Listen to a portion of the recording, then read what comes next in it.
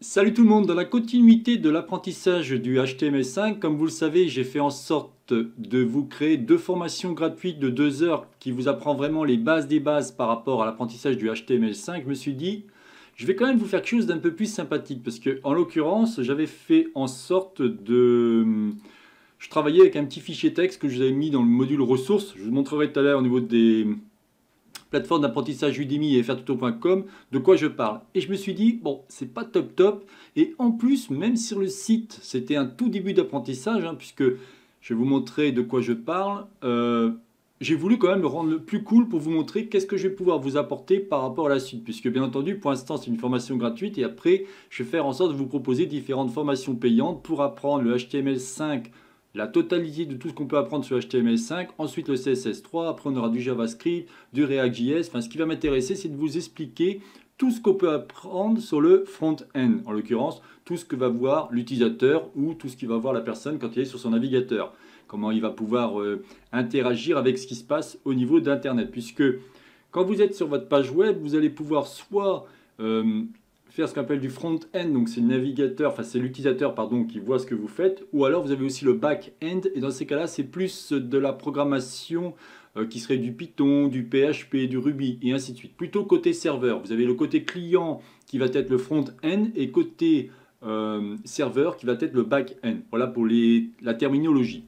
Alors quand on vient ici au niveau, alors là, hop, voilà, je vous ai créé donc ce petit, ce petit élément. Alors c'est un fichier, il suffira de cliquer sur index.html et vous accéderez directement à ça. Vous voyez?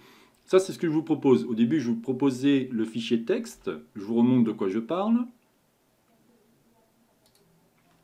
Là, je vous proposais en fin de compte le fichier texte et c'est quand même beaucoup plus agréable d'avoir ce genre de choses. Par exemple, si on clique ici, introduction, vous voyez, on a ce genre d'éléments. Alors, au cas où, si vous êtes curieux, ça a été fait sur euh, la version Bootstrap euh, version 5. Si je fais ici code source de la page, vous avez toutes les informations. Vous voyez Bon, après, ce n'est pas le but de cette vidéo, mais c'était vous montrer que vous allez récupérer pas mal de choses. En l'occurrence, vous allez avoir beaucoup, beaucoup d'informations complémentaires et supplémentaires euh, par rapport à tout ce que je vous ai mis.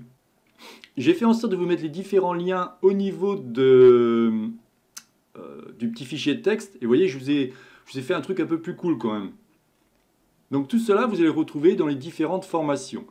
Ensuite, ce que j'ai fait, c'est que le site internet que j'avais au début créé, qui était très simple, hein, bien entendu, et là aussi il est très simple, je l'ai un petit peu customisé. Vous voyez, ici on a des trucs assez plus, un peu plus cool, avec des bordures ici, enfin, Là, évidemment, celui-ci est directement mis avec du CSS. C'est-à-dire que là, si je viens à cet endroit-là, alors c'est ce que je vous explique dans la vidéo. Hein. Là, je vous ai mis une balise qui va permettre de lier votre page CSS. Si je résume, le HTML5, ça va être la gestion de la structure de votre page web et le CSS, ça va être la gestion de la mise en forme. Alors bien entendu, par rapport au CSS, il n'y a vraiment rien. Hein. Vous verrez que les prochaines formations que je vous proposerai, on ira très loin au niveau du CSS.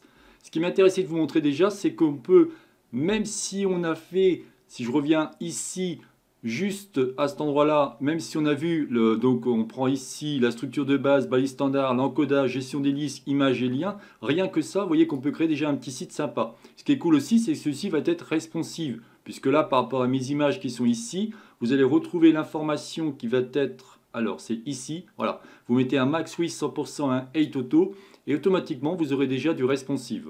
Alors, autre chose, si je viens maintenant au niveau des plateformes d'apprentissage, comme je disais, vous allez pouvoir retrouver celle-ci sur Udemy, programmation web HTML5, donc vous avez deux heures, et vous avez, donc vous voyez, déjà il y a 171 participants qui ont regardé celle-ci, et ça vous permet de voir un petit peu ce qu'on peut faire avec. Bien entendu, comme je dis, c'est une formation gratuite, et après, euh, vous aurez des formations payantes sur l'HTML5, CSS3, et ainsi de suite. Vous êtes plutôt frtuto.com, ben là aussi vous allez pouvoir retrouver celle-ci sur le site d'apprentissage frtuto.com.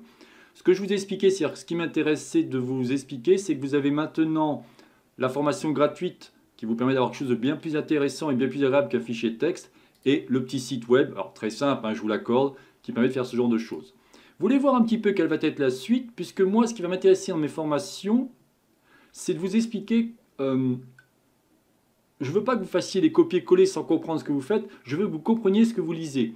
Si je viens ici dans Web Test, quand on vient ici dans Autres, c'est un des sites que l'on va apprendre à faire ensemble dans la formation payante. Et l'autre élément, si je viens ici, c'est le genre de choses que je vais vouloir vous apprendre. Si je fais ici bouton droit souris, code source de la page, si vous comprenez tout ça, eh bien c'est cool. Mais ce qui m'intéresse, c'est que vous ayez vraiment une bonne connaissance. Là, vous voyez, on vient ici. Tout ce que vous voyez ici en CSS, parce qu'il n'y a pas du tout de JavaScript pour l'instant, je vais me focaliser sur le HTML5, CSS3. Après, ce sera JavaScript et ainsi de suite. Mais vous allez voir que déjà, le CSS n'arrêtant pas d'évoluer, on peut contourner beaucoup de choses au niveau euh, du JavaScript. Par exemple, si je reviens ici, quand je viens dans gestion web, si par exemple je vais cliquer sur lien, vous allez voir quelque chose comme un ascenseur qui descend. Normalement, comme j'ai pu vous expliquer au niveau de la gestion des liens, ce n'était pas possible. On avait quelque chose de brut. Bah là, avec du CSS, on peut faire quelque chose d'intéressant. Donc comme je vous disais, par rapport à ce, site internet, je vais en faire pas mal, hein, je vais en faire plusieurs. Hein. Mais vous voyez, on a plein de technologies. On a des technologies type Flexbox, Grid, euh, il y a plein plein plein d'éléments hyper intéressants. Mais ce qui m'intéresse de vous montrer, c'est est-ce que vous savez interpréter tout le langage que vous voyez? Est-ce que vous comprenez ce que vous faites? Parce que c'est bien joli de faire des copier-coller, mais des fois ça peut être dangereux. Alors, dans le cas du HTML5, CSS3, il n'y aura pas trop de danger. Par contre, dans le cas du JavaScript, il faudra faire vraiment attention. déjà, j'essaie de vous donner une manière de travailler. Pour finir, lorsqu'on vient ici, alors là je l'appelle Blender pour tous, mais on pourra évidemment changer le nom, puisque si vous vous rappelez, le but de la, du site web, c'était les jouer en bois. Puisque toutes mes créations ont été faites sur, ça peut être Blender, SketchUp, enfin différents logiciels dont je donne des cours, bien entendu. Quoi qu'il en soit, ce qui m'intéresse de vous montrer, si je viens ici, quand je vais bouger celui-ci, vous allez voir que d'un seul coup, celui-ci va être responsive. Et eh bien là aussi, je vous expliquerai comment faire ce genre de choses. Vous voyez? On a ce genre de truc. Euh, alors c'est un des sites, il y en aura plein d'autres, mais ce que je vais vous montrer, c'est qu'est-ce qu'on peut faire avec. Là, on a une espèce de petit portfolio avec le formulaire et ainsi de suite. Voilà ce que je voulais vous donner comme information ou comme évolution euh, par rapport à cet élément qui a été greffé, comme je vous disais, au niveau des plateformes d'apprentissage frtuto.com et Udemy. C'était donc la chaîne Savoir pour tous, réalisée par Jean-Michel. Si vous avez aimé cette vidéo, n'oubliez pas de liker ou tout simplement vous abonner à ma chaîne. Je vous souhaite une bonne journée et à la prochaine vidéo. Bye bye